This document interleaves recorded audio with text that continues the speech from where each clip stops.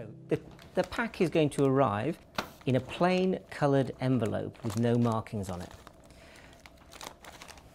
Best place to do a test is when you're in a comfortable position, when you're probably not going to be disturbed. It's also worth creating a clean a clean environment in which to do the test.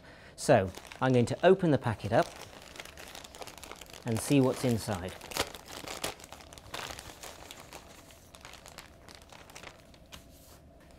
So inside we've got an instruction leaflet. We have a request form. We have a return envelope and we have a small bag containing the bits we need. Let's have a look what we've got. So we've got a mini tube in its own plastic container. We have some plasters. We have some sterile wipes. And we have some lancets.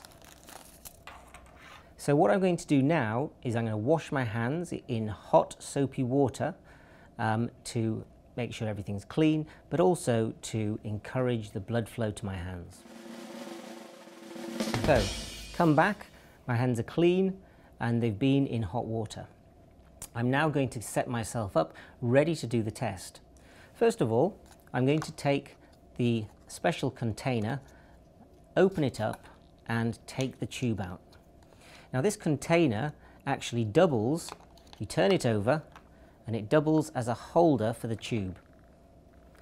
So the tube is held within, within the container. Then you can screw the cap off and put it to the side. Now, I find that if you shake your hand vigorously, that draws the blood into your hand.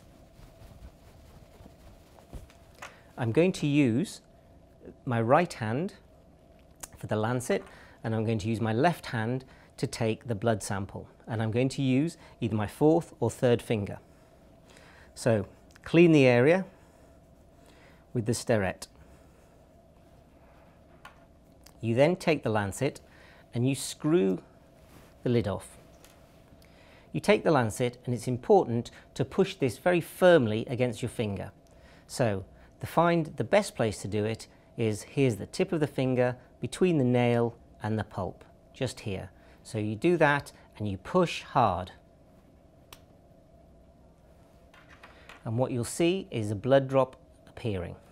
Now, you gently squeeze the finger so that the blood drips into the tube. So usually it takes about 10 droplets of blood to reach the 500 microliter line of the tube.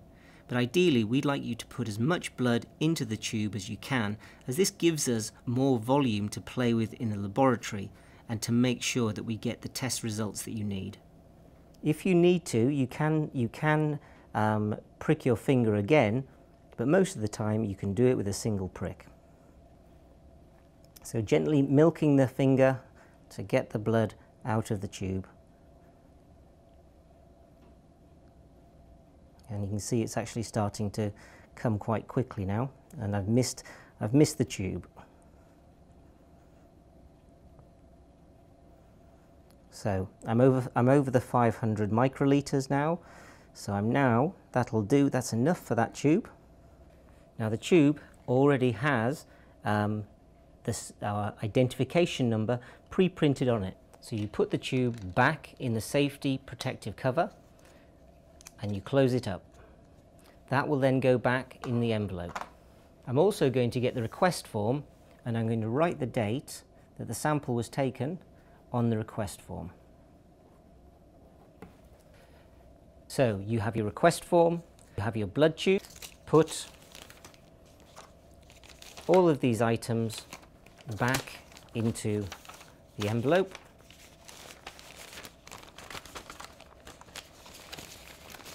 Seal the envelope up. Discard any rubbish. This is now ready to go into the post box and I should receive my results in about a week's time. Thanks for watching. More information is available at our website.